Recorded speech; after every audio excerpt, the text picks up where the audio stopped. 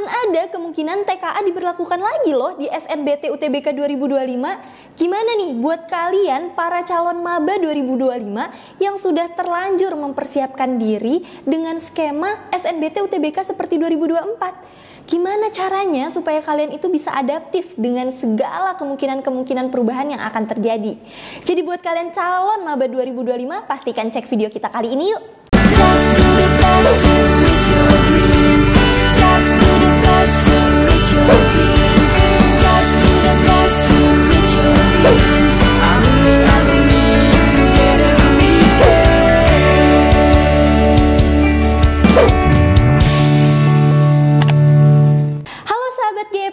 Kali ini kita bakal ngebahas seputar kemungkinan-kemungkinan yang terjadi terkait perubahan-perubahan di SNBT UTBK 2025. Sebagaimana yang sudah kita ketahui nih, sebelumnya SNBT UTBK itu memiliki nama yaitu SBMPTN yang berlaku saat tahun 2022 lalu terakhir. SBMPTN itu berlaku terakhir pada tahun 2022. Kemudian di tahun 2023 itu diberlakukan sistem SNBT UTBK. Jadi pada tahun 2023 itu masa transisi perubahan-perubahan materi bahwa di tahun 2023 lalu itu sudah tidak ada yang namanya TKA tes kemampuan akademik yang sebelumnya SBMPTN itu menggunakan materi TPS dan juga TKA. Nah, TPS itu tes potensi skolastik dan juga TKA tes kemampuan akademik yang memberlakukan pengelompokan-pengelompokan untuk jurusan-jurusan tertentu seperti saintek, soshum dan juga campuran. Itu semua berlaku terakhir pada tahun 2022. Kemudian pada tahun 2023 semuanya itu diadaptasi menjadi sistem SNBT UTBK sebagaimana yang kita kenal saat ini. Kemudian hal menonjol lainnya yang membedakan proses seleksi antara SBMPTN dan SNBT UTBK adalah dari sistem seleksinya. Pada saat SBMPTN terakhir diberlakukan, mereka menggunakan sistem untuk ujian terlebih dahulu, kemudian hasil dari ujiannya itu baru diserahkan kepada PTN untuk diseleksi lebih lanjut apakah skornya itu bisa memenuhi jurusan yang mereka tuju atau tidak. Kemudian pemilihan jurusannya juga masih dikelompokkan berdasarkan dari TKA tadi. Jadi buat teman-teman yang mau memilih jurusan Saintek itu ada kelompoknya sendiri. Sedangkan untuk pemilihan jurusan yang berbau soshum itu ada kelompoknya sendiri. Sedangkan buat teman-teman yang ingin memilih campuran itu juga ada kelompoknya sendiri. Hal itu berbeda dengan sistem SNBT UTBK. Karena di SNBT UTBK itu siswa terlebih dahulu memilih jurusannya. Kemudian mereka baru melakukan tes SNBT UTBK. Ketika mereka sudah UTBK, mereka akan memperoleh nilai, kemudian nilai skor itu yang akan diseleksi apakah masuk ke jurusan-jurusan yang mereka sudah pilih sebelumnya. Selain itu, sistem SNBT UTBK juga tidak ada pengaruhnya terhadap penjurusan-penjurusan kelompok-kelompok tertentu. Jadi semakin tinggi skor kamu jika memenuhi perankingan pada jurusan yang kamu tuju, maka kamu bisa lolos. Mungkin bisa dibilang siapa yang skornya paling tinggi, mereka yang bisa menaklukkan mimpi. Tapi gimana nih teman-teman kalau ternyata dengan dilantiknya menteri baru, kita sekarang ini akan ada kemungkinan-kemungkinan perubahan baik dari materi ujian ataupun sistem proses seleksi untuk SNBT UTBK 2025 nanti. Buat kalian yang mungkin sudah mempersiapkan diri menggunakan sistem SNBT UTBK 2024 lalu, kalian harus benar-benar bisa adaptif nih. Bisa jadi TKA diberlakukan lagi nih di SNBT UTBK 2025. Kalau memang itu semua benar-benar terjadi, kalian harus bisa mempersiapkan diri kalian. Tentunya dimulai dari kalian tahu dulu nih apa yang mau menjadi tujuan kalian, jurusan apa yang mau kalian pilih.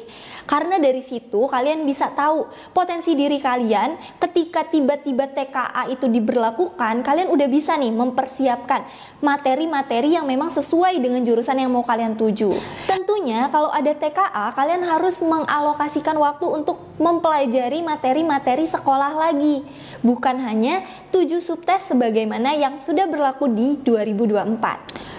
Walaupun memang sebenarnya sistem SBMPTN dan juga UTBK SNBT ini memiliki kelebihan dan kekurangannya masing-masing. Pada saat sistem SBMPTN yang terakhir, sebelum diadaptasi menjadi UTBK, itu kalian bisa ujian terlebih dahulu, baru mendaftarkan skor yang kalian peroleh. Sedangkan di sistem SNBT UTBK kalian memang memilih jurusan yang kalian tuju dulu. Masing-masing kelebihan dan kekurangan pastinya bisa kalian siasati nih. Mungkin secara umum kita lihat proses SBMPTN sebelum diadaptasi menjadi SNBT itu terlihat prosesnya terlalu panjang. Sedangkan untuk proses SNBT UTBK itu terlihat simpel, sederhana, dan mudah. Hanya saja di sistem SNBT UTBK kalian tidak memiliki kesempatan untuk memperbaiki nilai ketika kalian sudah mengikuti UTBK. Lain halnya di sistem SBMPTN sebelumnya yang kalian bisa mengikuti gelombang UTBK yang kedua ketika kalian merasa tahap pertama nilai kalian belum memuaskan.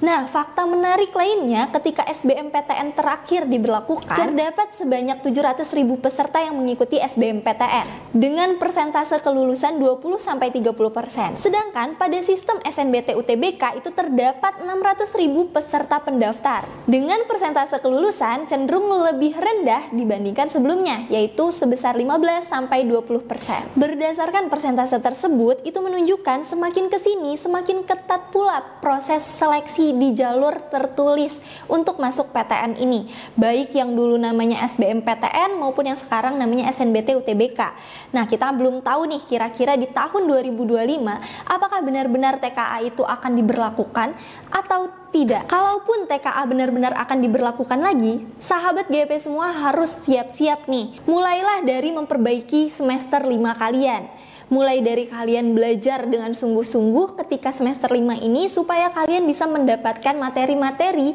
dan juga pengetahuan-pengetahuan yang memang akurat terkait kelompok penjurusan yang memang nantinya sesuai dengan jurusan yang sudah ada di bayangan kalian. Tentunya kalian harus mempersiapkan dulu jurusan yang memang menjadi tujuan kalian sehingga ketika benar-benar TKA itu diberlakukan lagi, kalian sudah tahu kira-kira kelompok apa nih yang akan kalian pilih, saintek kah, soshum atau campuran. Untuk tahu minat, potensi, dan jurusan yang mau kalian pilih itu sudah tepat atau belum, kalian perlu mengenali diri kalian lebih dalam. Kalau buat kalian yang masih bingung, kira-kira apa ya kak potensi diriku? Kalian bisa lakukan talent mapping hipotes dari GEP Media. Kalian bisa cek di Instagram GEP Media untuk info lebih lanjut terkait talent mapping. Talent mapping hipotes bukan hanya sekedar tes kecerdasan intelektual, tapi berdasarkan enam potensi lainnya. Kalian bisa tahu seberapa besar sih indeks potensi diri kalian kalian untuk mencapai impian kalian. Kalian bisa tahu tiga top soft skill kalian dan juga gaya kepribadian utama kalian. Cukup sekian informasi kali ini. Jangan lupa like, komen, dan subscribe supaya kalian gak ketinggalan info-info menarik lainnya seputar PTN. Kakak tutup, Assalamualaikum, see you, bye-bye.